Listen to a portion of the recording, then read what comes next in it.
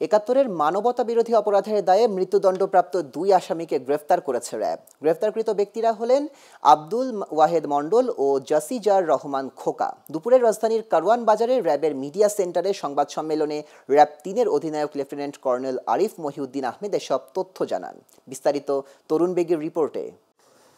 রাজধানীর মুগদা থেকে গ্রেপ্তার করা হয় মৃত্যুদণ্ডপ্রাপ্ত যুদ্ধাপরাধী আব্দুল ওয়াহিদকে আর মোহাম্মদপুর থেকে গ্রেপ্তার করা হয় জাসাজির রহমান খোকাকে। সংবাদ সম্মেলনে বলা হয় তাবলিকের সঙ্গে যুক্ত হয়ে ঢাকাসহ দেশের বিভিন্ন জেলায় ঘুরে ঘুরে আত্মগোপনে ছিলেন তারা। তারা উক্ত এলাকার এরকম আরও পঁয়তাল্লিশ থেকে পঞ্চাশটি হিন্দু বাড়িতে তারা লুটতলাজ এবং অগ্নিসংযোগ করে।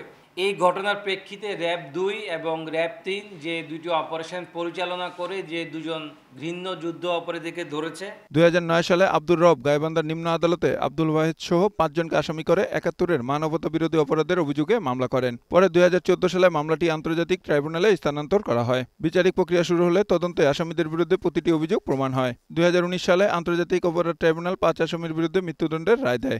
আব্দুর রফ এই তাদের দুই হাজার নয় সালে গাইবান্ধায় আদালতে এই আব্দুল ওয়াহেদ সহ এই টোটাল এই পাঁচজন, পাঁচজনের বিরুদ্ধে যুদ্ধাপরাধের মামলা করা হয়। পরবর্তীতে দুই হাজার চোদ্দ সালে আন্তর্জাতিক যে অপরাধ ট্রাইব্যুনালে মামলাটি স্থানান্তর করা হয়, গভীর তদন্তে আসামিদের বিরুদ্ধে আনিত প্রতিটি অভিযোগ প্রসিকিউশনের মাধ্যমে প্রমাণিত হলে দুই হাজার উনিশ সালে আন্তর্জাতিক ট্রাইব্যুনাল কর্তৃক এ পাঁচজন আসামির বিরুদ্ধে মৃত্যুদণ্ড প্রদান করা হয়। তরুণ বেগী গ্লোবাল টেলিভিশন ঢাকা।